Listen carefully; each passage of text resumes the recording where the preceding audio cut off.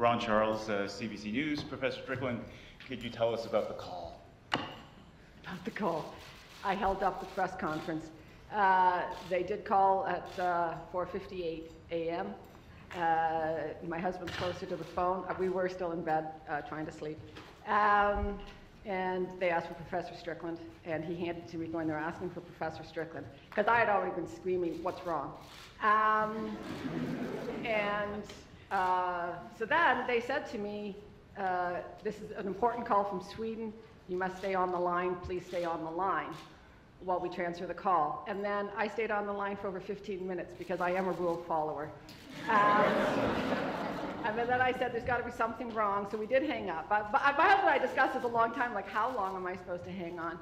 And then it kept saying, this would really be a cruel prank if this is just somebody pranking me. And so then I had to get on my email, and it, and it said, we can not uh, phone you, please call us immediately. So then I had to call them. Um, but at least that email did say they were from Swedish Academy. Uh, and then I called them, and they told me how we, I would share the prize, and that they asked if I would um, take part in the press conference. And again, I didn't realize that was an optional thing. I was the only one of the three of us that did uh, do that. But um, anyway, there we are. That was it. And uh, sorry, just a follow up no indication this was coming uh, for work that you did back in 1985? No, the Nobel Prize is a secret thing. There isn't any discussion or anything like that. And nobody asked. It's, it, most awards you get asked to supply your resume and your, but that, not for the Nobel, no. Nick Dixon, CTV. So with that in mind, how does that feel then, knowing that this is that much more special? It's not that you had to submit, you didn't apply. This is just a reflection of research you've done. I, I, all I can say is that I'm overwhelmed, really. Uh, I will tell you that over the years, because this is for work done a, a long, long time ago, um, somebody did comment, actually somebody from the Nobel Prize, think, they think it's the first time ever that someone got it for their very first paper.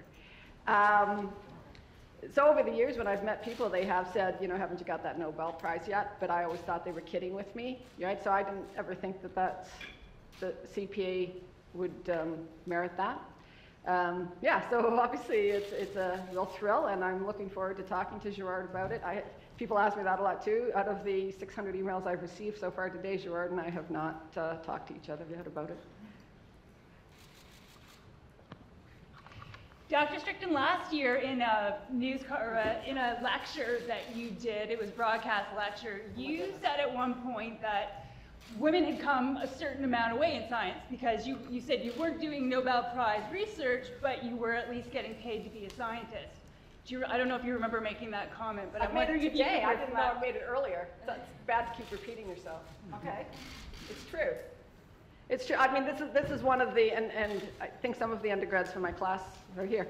Um, when I get on my soapbox, if I teach E&M, I talk about Maria Goeppert-Mayer. I did cite her in my own thesis. She is the last woman to win a, PhD, or win a, PhD, win a Nobel Prize in physics. Um, you know, and, and first of all, I will also admit, should I admit? I actually uh, called her he in my thesis, except that uh, one of the people reading the thesis said, shame on you, Donna, and changed it to she because um, I knew of the work and did not know that she was a she. Uh, and it was after that that I read about her and how, you know, she never got a paid job. Right? There she is doing. And actually, what I cited her for was she was a, a theorist can do things that experimentalists can't because they don't have to wait for the laser to be invented. So in 1939, she predicted that uh, an atom could absorb two photons. Nobody had thought of that before. And it was a woman that thought of it and changed how we do uh, that area of science. That's not what she won the Nobel Prize for, though, nuclear shell. And yet, she just followed her husband from job to job while he became a professor and went up the ranks and moved universities to do that as a chemist.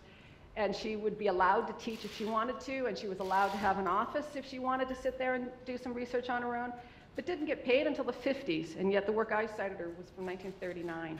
And so, obviously, women have come a long way. I feel I get paid the same, and I felt like all along I've always been paid the same and treated the same follow-up question. Can you describe in layman's terms what your research has done for the world and what it means, really? No. uh, I, that's a harder question because uh, people keep asking first about the LASIK surgery, which is still the number one uh, use of the thing. It's not for, the- for those of you who've had LASIK surgery. It is a UV laser that, that V-cuts uh, your cornea. It is cutting the cornea flap that this laser has worked on.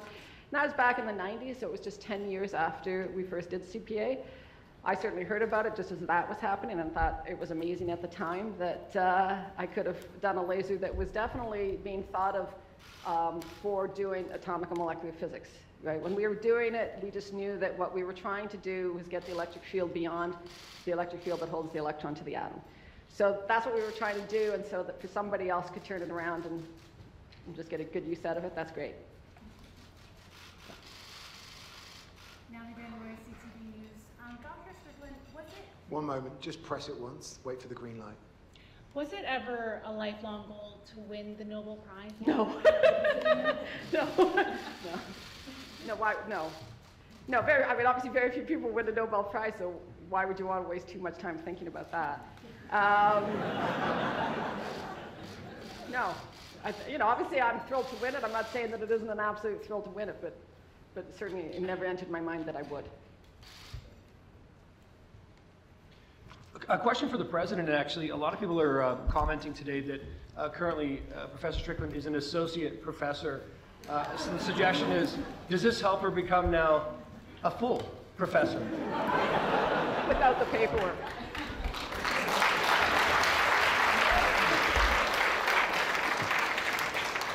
I guess the Senate has unanimously approved then. Um, It's a process, there's a governance process that has to be followed by everybody, including Professor Strickland. Uh, But I told her that she doesn't have to submit a very long CV, one line will be sufficient.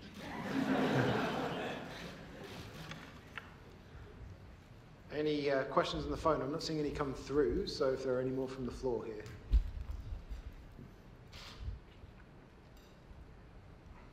Can I just jump back in then? Uh, You've got students on one side, faculty on the other side. I was wondering how it was divided. You know, standing ovation here. What is that like? You said this, not many people win Nobel Prizes. So what is that like when you walk into a room of your peers and people you're teaching, and they're giving you a standing ovation, and you know you're a Nobel laureate? Okay. Um, I don't know that it's, yeah, I guess I do know that. Um, I think it's more humbling. I don't know. I find it very hard to walk into a room full of people applauding me. I'd, I'd find that hard to do. Questions from students? Sorry, one more then, if, if I can. Lisa Hefner from CHCH. What will this award do for your research and for the school going forward? Hopefully, good things. Um, I, I, I, I don't know. I mean, hopefully it helps to, to be a Nobel Prize winner. Uh, I don't doubt that I'll have uh, more students wanting to work with me. Uh, the student who's doing his uh, fourth year project with me right now had to email me going, I was going to ask anyway, so sorry that it's the day, you know, that you win the Nobel Prize, but it's not because of that. Um, and, and, and I believe him. Um, is he here? I don't know. Uh, so hopefully, hopefully only good things. Hopefully it's not a hindrance. I can't see how it could be. I think we probably ought to uh, recognise that there are many more inquisitive and inquiring minds in the room than our friends from the world's media Um, here. Nick, may I just jump in Yeah. for the uh, last question?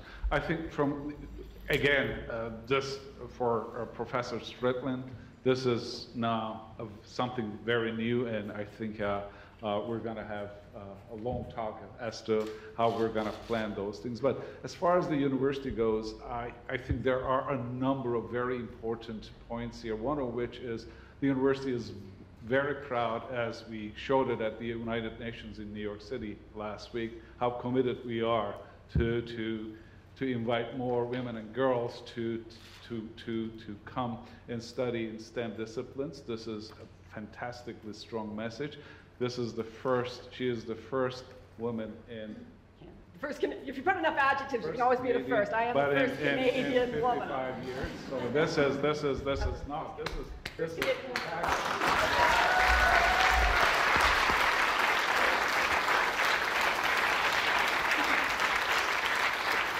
They've been working very hard to increase the number of women faculty in STEM disciplines, especially in science, and also students, graduate, undergraduates. So this will be a very, very strong message to everybody that if you work hard, you can win a Nobel Prize now.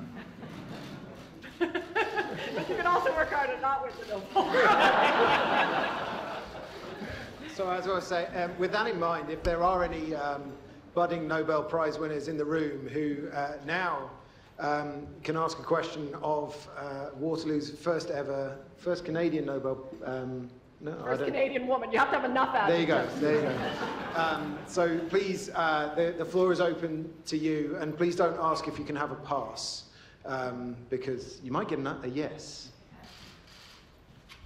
If you wouldn't mind pressing the uh, button, there you go. Yeah. How long do you hold the button for? Just press it once. What do I talk loud, please? Try yelling. Does it work? Hello? There we go. We're good to go. Um, So could you introduce yourself and who you, who you are before before you ask your question? Hi, uh, Nathaniel Smith, uh, Department of Chemistry here, but uh, always a fan of physics. Um, and a fan of uh, unrestricted uh, scientific discovery. As a young scientist, uh, people like me try to find our path on uh, how theoretical we should be. Should we just follow our curiosities, or how applied should we be? Um, can you just comment on a young you um, as a young scientist, how you navigated that, and if you were pulled more towards just general curiosity, or if you felt pulled towards applied science and science that can be applied to humanity. More on specifically, what do you think a scientist's role is uh, to humanity? Is it just to discover for the sake of discovery, or do we have a, a responsibility as scientists to help the world? Simple question. Thank you. Okay, I have two answers to that question then. Uh, the first one is uh, how I navigated it. And, and I've been told by a reporter that I use the word fun a lot, but I actually think that we all should do what we find fun and what we can do. When my daughter was quite young, um, she was being asked by her friends about me going out to work and rather, stay, rather than staying home. And my answer is the world works best if we all do what we're good at. You know, I had a nanny trained for three years in nanny school in Britain, and she was much better at looking after my children than I was. Um, and I said that, that was the case, and uh, she was considered the third parent in the family. And I said, I'm much better at tweaking lasers, and so I should be out there in the world tweaking lasers, and that we should all do what we're really good at. So, did I ever think, oh, I should be doing something to help humanity? No, I just think if we all do what we're really good at, it just helps the world. That's all. Thank you. Does anyone else in the room want to ask a question of a Nobel Prize winner? Yes, we have uh, one in the back there.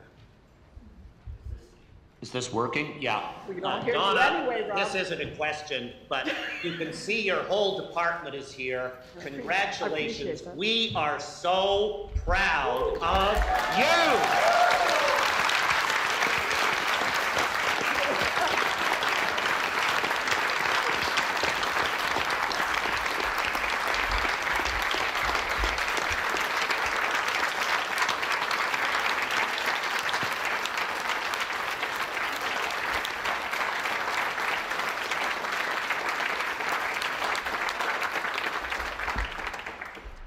Thank. I think everybody here echoes that sentiment and, and around our campus. Any students, undergraduate or graduate students, want to ask Professor Strickland a question? Don't be shy. Yes, we've got one. No, No, no, he- you're just waving, saying He was hi. in my class, that's all he's letting me know. Fantastic. Yes, we have. Oh, I, yes, I can't wait to see you. Go ahead. Uh, Hi, Donna. My name is Christopher Zaworski. I'm a graduate student in the physics department.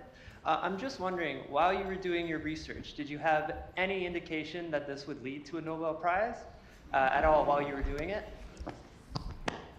While I was doing my PhD years. Um, okay, no. Uh, so, but I do know that my supervisor, Gerard, knew it would be very big. Okay, but this is how unready we were. Uh, my, the very first laser, the paper that's, you know, got me the Nobel Prize, uh, made a gigawatt of power, right? So it was a millijoule in a picosecond. And he said, Donna, when you go give your very, very first talk ever at a conference, he goes, Donna, when you go, you must say it's the way to make, oh, what is 10 to the 15? I don't know. We must have a, you know, we have a library here. What's the word for 10 to the 15? You must know. And I said, I don't know. And so we ran around the library the night before I went to the conference to look up the word petawatt. Okay, so uh, that's six orders of magnitude beyond what I did. And I, as a young grad student, I was thinking, you want me to go in front of all the laser people and say, oh, you know, we've done this, but this is really the way to go for six more orders of magnitude. I have to say they have built five petawatt lasers, like they're up to five petawatts now. Uh, it, it took 10 years to get to the first petawatt. He was right. We certainly knew it was the way to go. It was a money issue that we couldn't go there because it takes a great big giant laser, as you can imagine. Um, so we knew it would be big. But d- does that mean that we thought Nobel Prize? No. Well, I don't know if you asked Gerard, it might be a different story. Maybe he knew, but I didn't know. We will throw it. Oh, Ron. Just one, uh, Ron Charles again from CBC. Uh, Once again, could you explain once again the reason you and Dr. Mourou, uh, Professor Mourou came up with this uh, method for uh, expanding the capacity of lasers? All right, so uh, was already a leading person in the world of ultra-fast lasers, and he had a lot of short pulse laser systems. Uh, when I was a fairly new uh, graduate student, he had read a theoretical paper on how to get to uh, what was called higher harmonics that would need an intense laser. And so he just uh, gave me the paper that day and said, let's uh, think about how we can make an intense laser to make this work. So I took a long time to get that result. Um, we tried different ways first that did not work. Uh, and then over the course of uh, four years, uh, other people were out there trying to do uh, pulse compression, and it just sort of all fit together as to how come doing the CPA technique would be, you know, like I scrapped what I did and, and switched to CPA because it would be the way to make intense lasers. So in reality, was it, it was a solution to a problem uh, that existed in terms of lasers not being able to, whoa. only, I'm, only I'm in the spotlight, sorry. In terms of lasers not being able to become powerful enough. uh, Uh, back, like, so I did this work from uh, 84 to 85, and at the time, you could either have short pulse lasers or you could have high energy lasers. You could not have both because you would blow up the laser if you put the peak power in the laser. So, uh, yes. Now, of course, after we published it and after people came to the lab, they said, well, you know, the radar people did this back in World War II. Okay, so, you know, we always keep reinventing the wheel. Um, we, we have a, a question from our friends on the phone. Um, Ivan Caron from uh, AFP asks, um, not my question, I must hasten to add, um, how do you assess the situation of funding in your field? And do you think there is enough funding for basic physics research? There's never enough funding for basic research. Um, so that would be the first answer. Uh, in my own field, certainly when I came back to Canada 20 years ago, uh, Nortel and JDS were flying big. And so when I came back, I really, you know, had a pretty easy time compared to my colleagues. Uh, money was flowing my way because I did optics. And then unfortunately, Nortel and JDS are not the giants. Well, Nortel doesn't even exist anymore. Uh, and so things changed for those of us that studied optics. So obviously, I would love those days to come back. I'm waiting for another Nortel any day now um, to help us out. But uh, yes, I, I think all governments should support scientists. I think the, uh, the president of the University of Waterloo has stated on many occasions how badly he hopes that we are the institution that gives birth to that, to that next billion dollar Canadian company. Um, I think with that, unless there are questions from, from our students in the room. Yes, we do. Okay, one more. Go ahead. Press the button, please. Yeah. Is it pressed? Yeah. Um, do you have any advice to young female scientists and maybe for all the difficulties that they face? Any advice that you want to share? Yeah, I do, I do get asked that a lot. Um, I will tell you that uh, in my own, I think I went through with just blinders on. Uh, I don't think I purposely put the blinders on. I just think I, I just look that way. I, if I want something, I just see what I want. And if people say no, I think they're wrong. Um, so I think that's good advice. If somebody else says, that, you know, something that you don't believe in, just think they're wrong and you're right and keep going. Because that's pretty much the way I always think.